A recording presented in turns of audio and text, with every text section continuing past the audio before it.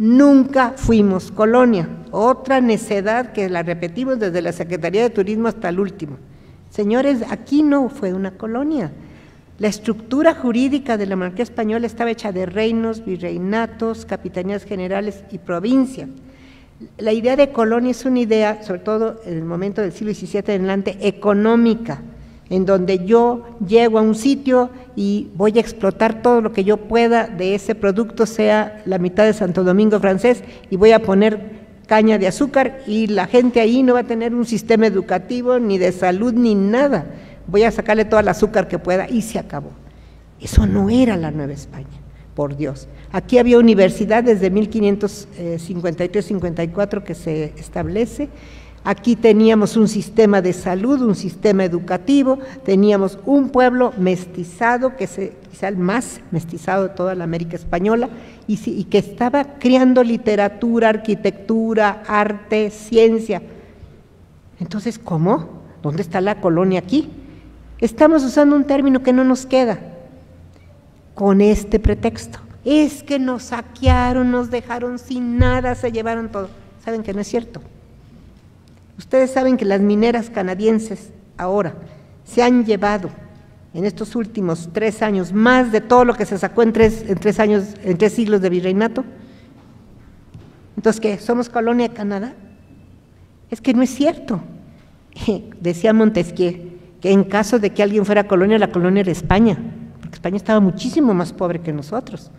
Si uno analiza la historia de España, que uno debe hacerla porque en ese momento éramos parte de esa unidad, pues allá hubo hambrunas terribles, bajísimos salarios, bueno, llegó a haber hasta, em, una cosa muy triste, hubo hasta comerse al muerto por, la, por el hambre. Las cosas que uno ve de lo que pasó, cuando se pedía un impuesto, Madrid, primero se lo pedía a Navarra, a Andalucía, a Galicia, a Castilla, a todos. Ya que terminaban con ellos, seguíamos nosotros.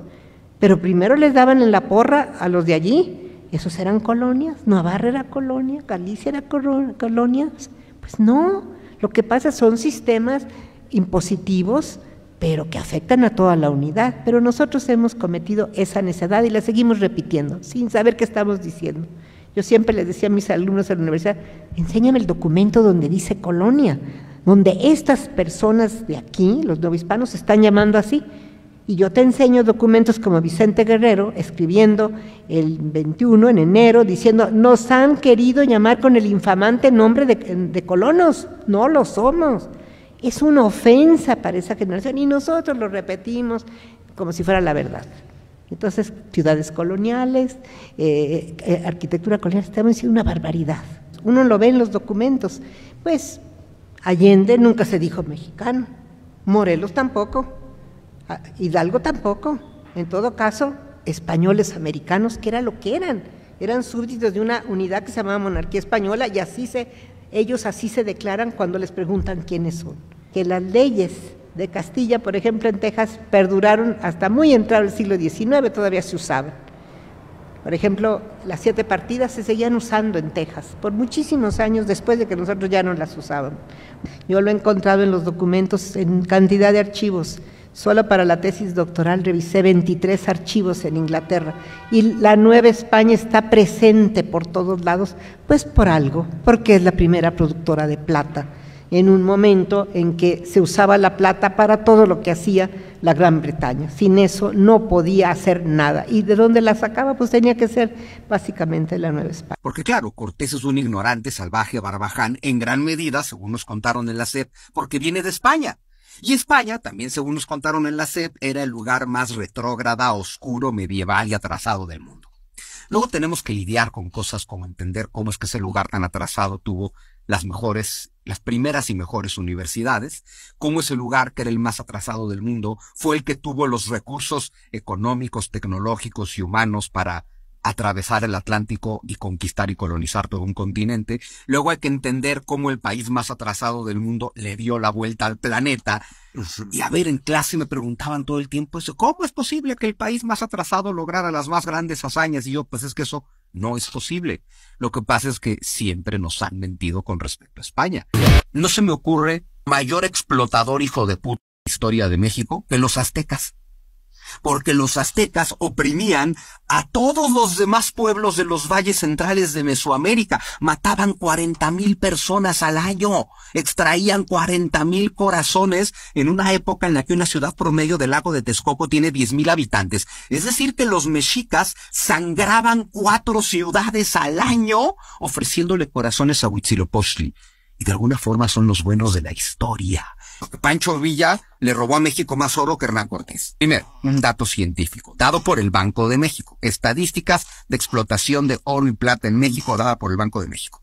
De todo el oro y plata que se ha extraído en México, desde 1521 hasta el 2021, o sea, en 500 años, en esos 500 años, incluyendo pues, todo el periodo virreinal y todo el periodo independiente.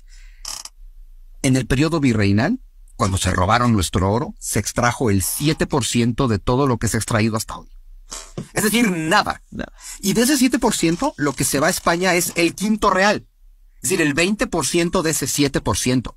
Perdón, no nos robaron nada, pero además no se lo llevaron, se quedó aquí. A ver, cuando te salen con esa payasada de no, es otra vez el discurso para justificar la mediocridad. Somos pobres porque hace 500 años los españoles se robaron toda nuestra plata que ya cuando Cortés tiene que salir huyendo en la noche triste porque Tláhuac logra su cometido, da un golpe de estado, derroca a Moctezuma, se las ingenia para que lo maten y demás. Antes de morir, las últimas palabras de Moctezuma a Cortés son, cuida de mis hijos. No se me ocurre un nivel más profundo de relación amistosa que, que encargarle cuidar de mis hijos. Y no se me ocurre mayor gesto de regreso por parte de Cortés que cuidarlos porque se llevó con él a Chimalpopoca y a Tecuitpo, luego conocidos como Pedro e Isabel de Moctezuma, y no descansó. llevó a España, ¿no? Exacto, no descansó hasta que tuvieron títulos nobiliarios reconocidos por el rey de España y le dio dote a Tecuitpo y la casó. O sea, se encargó de los hijos de Moctezuma finalmente, ¿no? Y dentro de todas las pláticas que pudieron haber tenido y que no sabremos, hay una que sí sabemos. Los indígenas bajo ninguna circunstancia pueden ser juzgados por la Inquisición.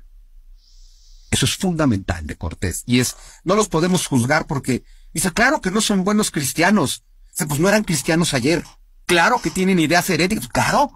Hay que educarlos, hay que enseñarles el cristianismo, pero bajo ninguna circunstancia se les puede juzgar. Por eso la Inquisición quemó a cuatro indígenas en toda su historia, antes de que Cortés consiguiera esto. Es Benito Juárez el que acaba con los indígenas hay de esta idea de, de, que los españoles vinieron a destruir a los indígenas de este país? Te voy a dar el dato fundamental. En 1810, cuando empieza el proceso de independencia, hay más o menos 6 millones de habitantes en Nueva España. De esos 6 millones, 4 millones son indígenas. 2 millones son españoles y mestizos. Estamos hablando de que el 60% de la población de 1810 es indígena. Mm. Hoy es el 7%. Entonces, ¿cuándo cayó la población indígena? De la independencia para acá. Porque en tiempos virreinales a los indígenas se les dio eso que se considera muy moderno, usos y costumbres. Pues señores, no tenemos por qué decirle a esta gente cómo vivir su vida, usos y costumbres durante todo el virreinato. Ni siquiera se impuso la lengua de Castilla, por eso la lengua más hablada en 1810 era el náhuatl, hablado por ese 60%. Claro. Entonces, ¿cuándo se extingue el náhuatl? No se extingue del todo, se sigue hablando, es la principal lengua después del castellano, y el maya y tantas lenguas que sí se extinguieron y otras que son muy minoritarias, todo fue en el México independiente, porque es el México independiente con el concepto de Estado Nacional moderno y sobre todo a partir de Benito Juárez, el que dice... Las leyes, las leyes de reforma de Benito Juárez. Claro, las leyes de reforma que despojan a los indígenas de sus comunidades o sus tierras y que los obligan a hablar español